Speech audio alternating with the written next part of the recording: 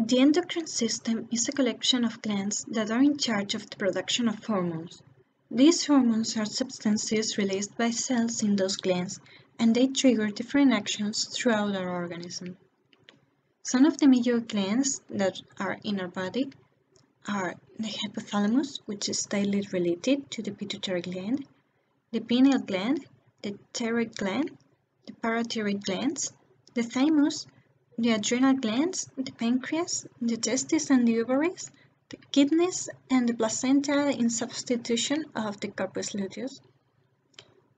And each of them produces a series of hormones that regulate different processes in our body. And now we're going to analyze them in depth.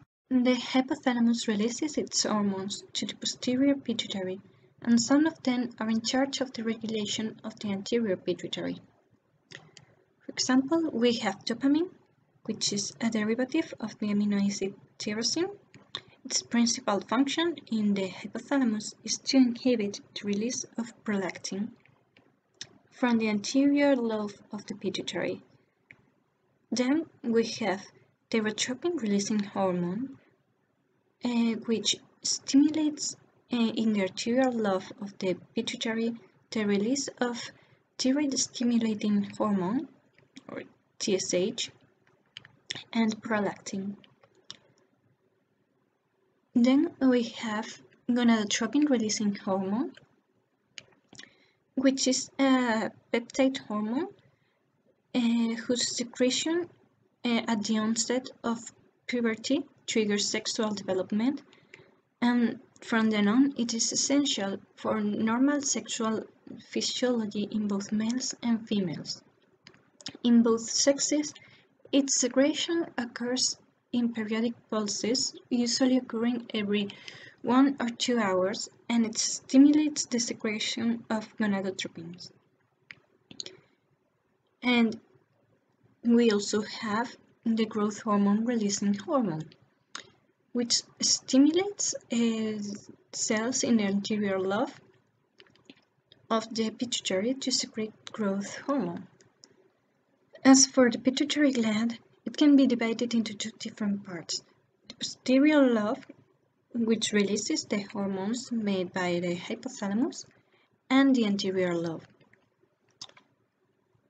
In the posterior lobe, we find two um, principal hormones, which are oxytocin and the antidiuretic hormone or vasopressin. Oxytocin is a peptide that stimulates the contraction of the uterus and mammary gland cells. It is regulated by the nervous system. We also have the antidiuretic hormone, which is also called vasopressin, and it is a peptide that promotes retention of water in the kidneys, and it is regulated by the balance of and cells. And then we have the anterior lobe, with the following hormones, which are the growth hormone, a protein that stimulates growth, especially in bones, and also stimulates metabolic functions. This hormone is regulated by the hypothalamic hormones. Prolactin, which stimulates milk production, and it is regulated by the hypothalamic hormones too follicle stimulating hormone or FSH, which is a protein that stimulates the production of ova and sperm, and it is regulated by hypothalamic hormones too. The luteinizing hormone stimulates ovaries and testes, and it is regulated by the hypothalamic hormones. Thyroid stimulating hormone, or TSH, is a protein that stimulates gland, thyroid gland, and it is regulated by thyroxine in blood as well as by hypothalamic hormones. And, and at last we have adrenocorticotropic hormone, which is a protein that stimulates adrenal cortex to secrete glucocorticoids. It is regulated by hypothalamic hormones and by glucocorticotropic. As we can see, almost, well, all the hormones secreted by this uh, anterior lobe are controlled by the hypothalamic hormones.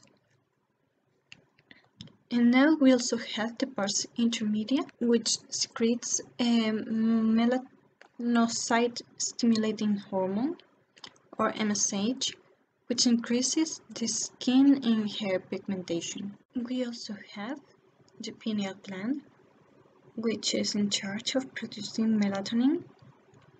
This melatonin is an amine that is involved in the rhythmic activities that could be daily or seasonal, like for example adaptation to darkness or seasonal color changes. And it's also uh, important in some reproductive functions as it reduces the response to gonadotropin releasing hormone and it is regulated by light and dark cycles. The thyroid gland is in charge of the production of thyroxine and triiodothyronine, which are amines that regulate the and maintain metabolic processes. They are regulated by TSH, and it also secretes calcitonin, which is a peptide that lowers the level of blood calcium, and it is regulated by calcium in blood. The parathyroid glands produce the parathyroid hormone, or PTH, which is a peptide that raises the level of blood calcium and it is regulated by calcium in blood. The thymus is in charge of, producing thymosin, which is a peptide that stimulates T cell development. The regulation of this hormone is still unknown. The adrenal glands are divided into two main parts, which are the adrenal cortex and the adrenal medulla, each of them secreting different types of hormones. In the adrenal cortex, we find the secretion of glucocorticoids, which are steroids that increase blood glu glucose, and they are regulated by ACTH. And we also have mineralocorticoids, aldosterone, which promote the reabsorption of sodium and the excretion of potassium in kidneys. It is regulated by the level of potassium in blood.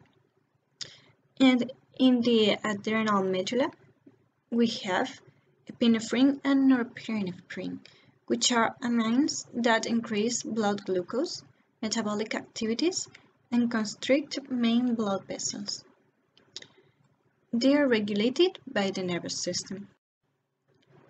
The pancreas produces insulin, which uh, is protein that lowers blood glucose and it is regulated by glucose levels in blood. And it also secretes glucagon, which is the protein with the antagonist effect of insulin as it raises blood glucose. And it is also regulated by the glucose levels in blood. Testes are in charge of the secretion of androgens, which are steroids that support sperm formation and they are in charge of the development and maintenance of male secondary sex characteristics. They are regulated by FSH and LH. Ovaries, on the other hand, produce estrogens, which are steroids that stimulate uterine lining growth and they are in charge of the development and maintenance of female secondary sex characteristics. They are regulated also by FSH and LH, and progesterone, which is an steroid that promotes uterine lining growth, and it is regulated by FSH and LH. We also have the kidneys, which are in charge of the secretion of renin, that activates the renin-angiotensin system by producing angiotensin 1 of angiotensinogen. Angiotensin, but this is produced in a non-direct way as it, the precursor is formed in the liver and the interaction of these precursors with renin is what ends up with the formation of angiotensin and this hormone stimulates vasoconstriction and release of aldosterone from adrenal cortex. And we also have the secretion of erythropoietin, that stimulates the production of red blood cells. We also have the placenta, which is a gland, transitory gland, that substitutes what the corpus luteum does during the first days and months of the pregnancy. It secretes estrogen, which prepares the uterus for labor, progesterone, which prevents the shedding of uterine lining, and human chorionic gonadotropin, which maintains progesterone production constant. Now we're going to see a general overview of the general relations that are maintained between some of the hormones that we've mentioned. As for example, we can see that hypothalamic hormones control the secretion of many other hormones as ACTH, TSH, FSH or and LH, prolactin and growth hormone.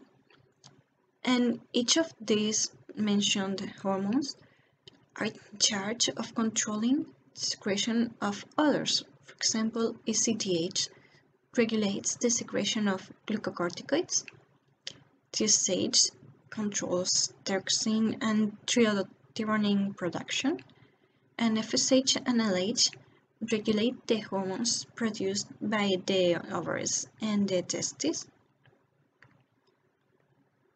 And here we have some of the references used for the making this presentation and that is all.